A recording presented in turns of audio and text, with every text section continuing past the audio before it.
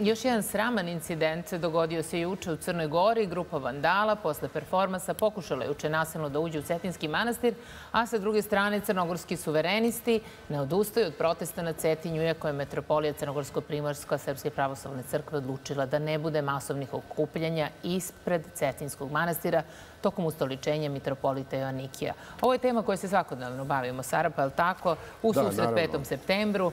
Tako će biti i ovoga jutra. Naši gosti u novom jutru, vojno-politički analitičar Vlade Radulović i profesor dr. Mina Zirojević sa Instituta za uporedno pravo, a iz Podgoricu u program uključujemo jednog od lidera Demokratskog fronta Crne Gore, Milutina Đukanovića. Svima želim dobro jutro. Dobro jutro, dobro jutro. Vidimo i da je gospodin Đukanović na vezi. Da li se čujemo? Čujemo se odlično. Da, proverimo odmah veze. Kako se ta atmosfera sada, možemo reći, u Crnoj Gori oslikava na život običnih građana? Možemo primetiti da je mnogo teških reči kada je reč o ustoličenju mitropolita Ionikija. Čuli smo Krivokapića koji je prvo govorio da će ići sam bez obezbeđenja, pa sa obezbeđenjem, pa sad neće da ide. Čujemo pretnje Mila Đukanovića da će i on tamo da se nađe u odbrani, tako, Crne Gore, a i na kraju krajeva čuli smo i stav Srpske pravoslavne crkve da će se ustoličenje odvijati bez prisustva naroda i bez prisustva vernika. Pa, želim da pozdravim vas i vaše gledalce. Ovo je, mi mislimo, mnogo više medijska tema nego što stvarno utiče to na život građana Crne Gore. Jedna mala grupa radikalnih komita diže mnogo veću tenziju nego što se to osjeća u narodu. Nažalost, u Crnoj Gori slobodno možemo da kažemo imamo slabu vladu i to je jedan od razloga što očigledno poražene grupacije koriste to i žele da stvore neku sliku, da imaju neku ideologiju i ponovo su krenuli ono što su željeli 30. augusta, da otmu svetinje Srpske pravoslavne crkve. I šta se desilo 30. augusta? Doživili su teški poraz. I kažem još jednom, oni stvaraju mnogo veću buku nego što stvarno imaju podršku u narodu. A razlog tome je, kažem, vlada koja zaista nemušto se ponaša, nema prave reakcije da se, iz, da se u Crnoj Gori izvršila takozvana dubinska promjena mi danas ne bi imali ove priče, Crna Gora bi se bavila ekonomijom, otvaranjem novih radnih mjesta, ali nažalost još jednom mala grupa stvara veliku buku, ali mi se osjećamo bezbjedno, znamo da je istina i pravda na našoj strani, a u krajnjem i ogromni, ogromni, mogu reći preko 90% pravoslavnog stanovništva podržava Srpsku pravoslavnu crkvu i završit se to i na Cetinje, nastavit će Crna Gora da živi normalno, ali ne više kao što je živjela do 30. augusta prošle godine. Šta se tačno desilo ispred eh, manastira eh, i ko je pokušao nasilno da uđe u manastir? Pa vidjeli ste, sedam, osam neodgovornih osoba je pokušalo da napravi predstavu noseći kameru i oni su već imali unaprijed definisan scenario gdje se saopštava kao ne dozvoljava se građanima da uđu u manastir. Njima se je dozvolilo, nije se dozvolilo da se snima tamo gdje se nikome ne dozvoljava da se snima. I ponovo kažem, to je dobilo toliku medijsku pažnju, a ne zaslužuje to toliko medijsku pažnju.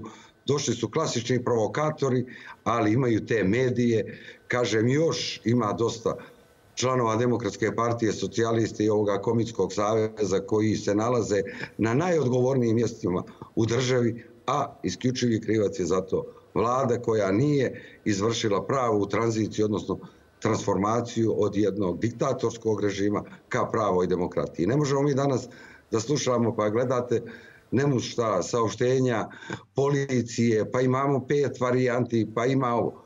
Demokratski front je prepoznat kao politička organizacija kada se borila protiv Demokratske partije socijalista da smo organizovali na desetine, možemo reći i na stotine protestnih skupova.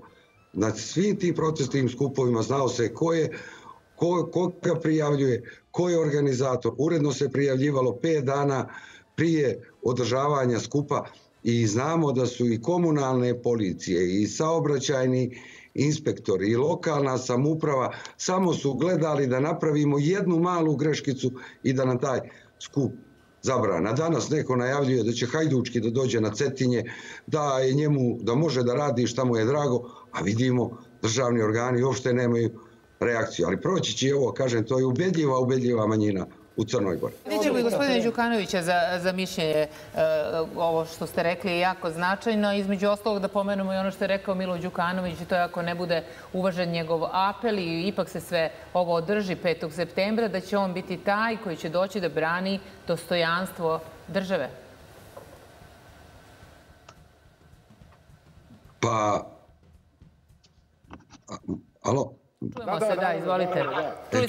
Pa, to su, pa mi kažemo, to su sve predstave. Pa uopšte nije promijenjeno u policiji, su promijenjene nekolika rukovodioca. Vi ste dobro znate da i kad je došla nova vlast, koliko su ostali na funkcijama značajni policijski funkcioneri i da su oni omogućili čak i jednom ekstremnom kriminalnom klanu velje, nevolje, da može da uđe u Crnoj Gori. I danas ti ljudi imaju neki uticaj u policiji, mjesto da se ti ljudi nalaze u zatvoru, oni danas mogu da utiču na političku scenu, ali nemaju oni tu snagu, oni to rade retorički, da glume, da su i dalje neki politički faktor u Crnoj Gori. I, i zamislite, izabrali su teren gdje su ubjedljivo poraženi, a danas bi taj njihov poraz bio još ubjedljivi.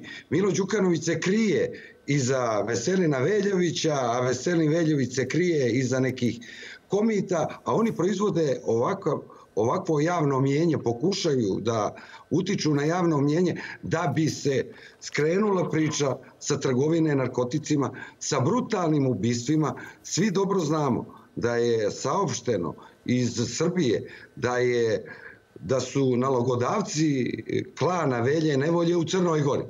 A to se nikako nije moglo raditi bez prethodne vlasti, bez Mila Đukanovića, Zorana Lazovića, Veselina Veljovića i sad žele da proizvode neku politiku.